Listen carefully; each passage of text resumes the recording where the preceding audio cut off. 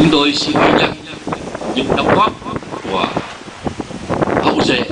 của nước Phúc Tập cũng như nguyên tộc Việt Nam đối với cái sự nghiệp bảo tồn những giá trị của quá khứ,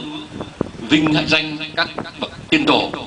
và đó cũng là thực hiện cái đạo nghĩa uống nước nhớ nguồn mà chúng ta coi đó là một trong những nguồn lực, một trong những sức mạnh để chúng ta phát triển quốc gia dân tộc. Chúng tôi xin chúc mừng uh, Nguyễn Phúc Tộc ở Hà Nội đã làm được một việc hết sức có ý nghĩa.